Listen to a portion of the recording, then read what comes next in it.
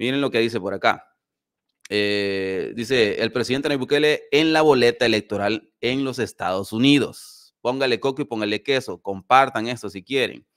Miren lo que se detalla por acá de esta información. Se los voy a dar eh, detenidamente. Miren, ¿tienen Nayib Bukele alguna incidencia en la campaña electoral de los Estados Unidos? Bueno, según la investigación sobre el comportamiento de los votantes latinos en Estados Unidos, los republicanos se relacionan con figuras como el presidente argentino Javier Milei y el presidente del Salvador Nayib Bukele. Vamos a aumentar el tamaño para que ustedes lo puedan ver.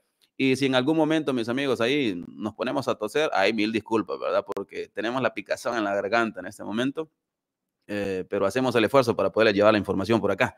Bueno, en la campaña electoral 2024, Estados Unidos ha integrado diversos temas relacionados con América Latina reflejando la importancia creciente de la región y la comunidad latina en el panorama político estadounidense. Pero ¿existen figuras o presidentes de América Latina que tengan alguna incidencia en este proceso? Por supuesto, ¿verdad? Ya les dijimos, ya les dijimos, son, en este momento se considera el presidente de la República, Nayib Bukele, y Javier Milei, porque para los latinos eh, representan en ese instante los cambios, ¿verdad? Uno, por los cambios que está haciendo en economía ya en Argentina y en nuestro país, El Salvador, por los cambios que vienen en economía, pero y que ya se dieron en seguridad. Entonces, eh, cualquier palabra que se diga por parte de esos presidentes en torno a los gobernantes o, en algún momento ellos digan, bueno, con quién quisieran trabajar, ahí afecta, ¿verdad? Ahí eso tiene incidencia, eh, tiene una fuerte incidencia. Imagínense que le preguntan también a ChatGPT, le preguntan, eh, referente a esto. Y le respondió, la inteligencia artificial le responde, dice, pues parece que al menos para el voto latino, si la tiene, dice, se reporta, claro, claro, e incluso también para algunos ya ahora norteamericanos, quienes ya conocen del trabajo tanto del presidente de la República, Bukele, como, bueno, lo que está haciendo también Javier Milei, pero es en menor escala, ¿verdad? Porque tienen más conocimiento de querer en este momento la seguridad en su país.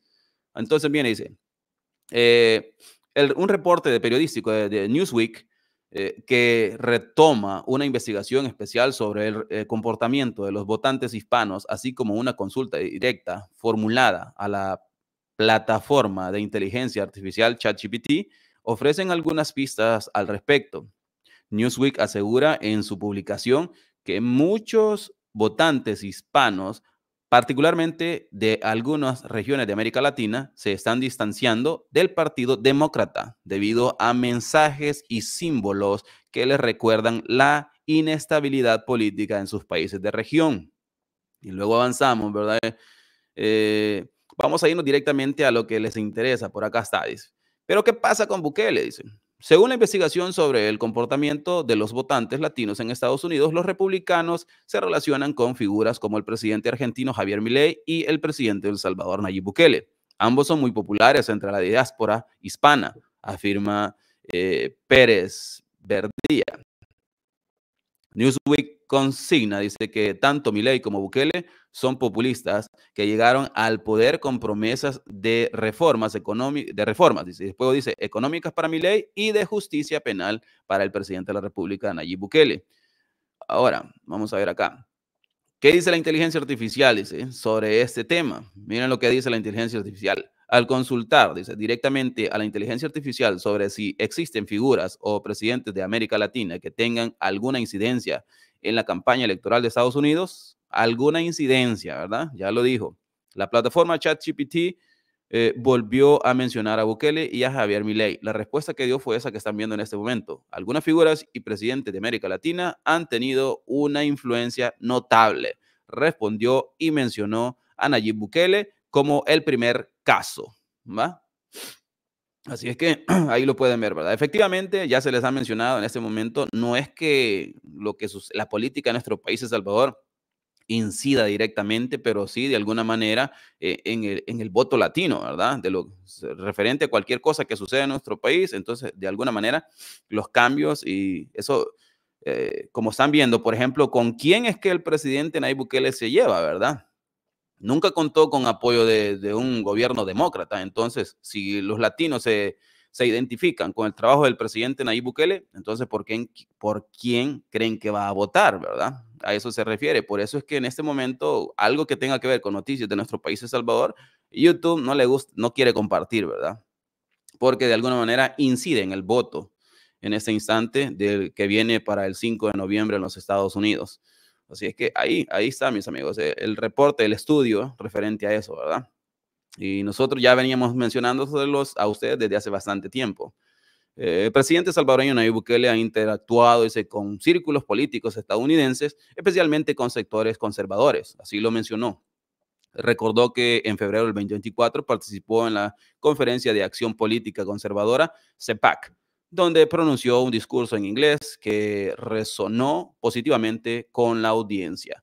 La respuesta uh, agrega que en esa oportunidad, Bukele criticó al filántropo George Soros y el globalismo, instando a los conservadores estadounidenses a dar la pelea contra las élites globales para recuperar su país. Y que ustedes muy bien saben, cuando el presidente Bukele mencionó eso, saben a quiénes involucra, ¿verdad? Quiénes están en torno a George Soros, ¿verdad? Por eso les digo, o sea, sí tiene que ver, ¿verdad? Sí tiene que ver, al menos eh, eh, específicamente con el voto latino, pero también algunos eh, norteamericanos, así como cuando el presidente llegó a hablar al CEPAC, en muchos se identificaron con el mensaje del presidente de la República, Nayib Bukele, incluso reafirmaron por quién iban a votar.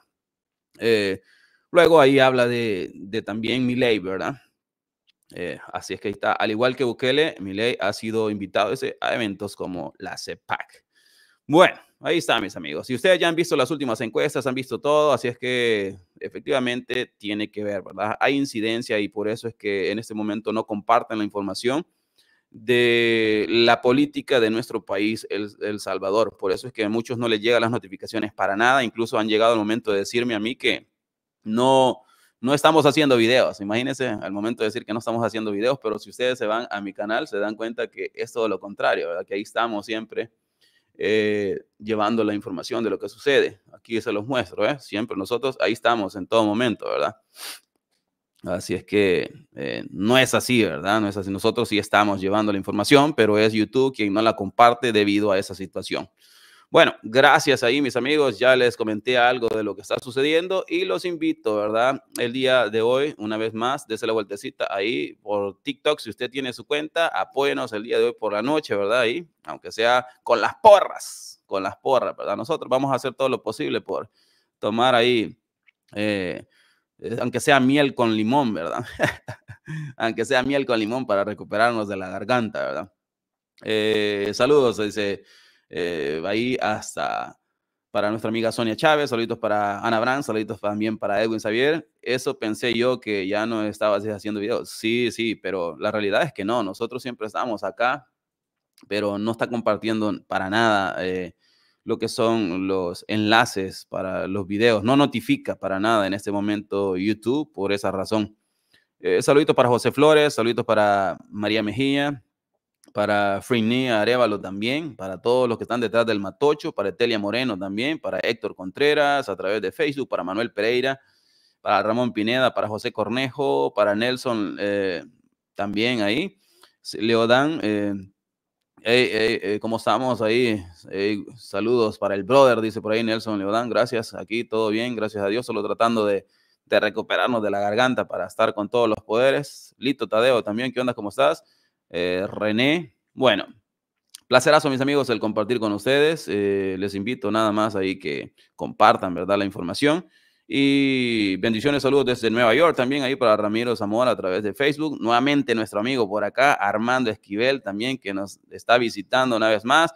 Sí, gracias mis amigos. Ah, bueno, recuerden eso, o sea, nosotros no es que dejamos de, de hacer videos, sino que simplemente no se notifica por parte de YouTube, ¿verdad? Pero si ustedes gustan, siempre lleguen al canal y van a encontrar información nueva. Ana Turcio, saludos también para ustedes. Ahí estamos, mi amigo José Flores. Eh, bueno, José Cornejo, uh, un tapiz para de, cañita rica, dice. sí, hombre, ya va a ser, ya va a ser. No, la verdad es que, bueno, yo ya les he contado, muchos de ustedes ya conocen, ¿verdad? Que yo, pues, eh, no, no, no tomo, ¿verdad? No tomo. Este, así es como me crió mi abuela. Es más, Por eso yo hice uno de los videos, ¿verdad? Si se fijaron, si se fueron a El Salvador con todo, que ahí estaba tratando de hacer los blogs. Si se fijaron, hice eh, un en vivo, ¿verdad? Un en vivo en la madrugada, acá este, que les estoy mostrando, y ahí les decía yo, ¿verdad? Por ejemplo, una de las razones por las cuales yo no pude, o sea, eh, mi abuela me crió de una manera en la cual, o sea, yo tenía que estar a las 7 de, de la noche, antes de las 7 de la noche en la casa, si no, pues me iba a quedar afuera, ¿verdad? Pero no era que me iba a dejar que me fuera a andar para arriba y para abajo, no, afuera, ahí en el patio de la casa. O sea, es diferente, ¿verdad? No es que me iba a dejar que me durmiera en la casa de alguien más o en algún lado fregando, no, a dormir afuera de la casa, pero en el patio de la casa. Así es. Y estoy preparando un video en el cual lo vamos a hacer ya de una manera mm, eh, contada, pero con la, haciendo eh, las imágenes reales de lo, de lo sucedido, ¿verdad? De una manera eh, chistosa ahí. Vamos a tratar de hacer ese video, ya estoy trabajando en ello. Así que, bueno, ahí está, mis amigos. Pero no, no, no, no. Nosotros, gracias a Dios, gracias a ella, ¿verdad? Gracias a ese trabajo, gran trabajo que hizo mi abuela, a su manera de criarnos y no caímos eh, nada de vicios y tampoco eh, ser parte de las, de alguno de los angelitos, ¿verdad? Nada de eso, no nos perdimos, gracias a Dios. Eh, bueno, bendiciones, mis amigos. Los veo ahí en otro segmento informativo y también los invito para ir a TikTok. Gracias. Vámonos, pues, Chile Verde. Hasta la vista. Y bueno, si fuera un tapiz, tendría que decirles. ¡Salud! Nos vemos, mis amigos. Bendiciones para todos.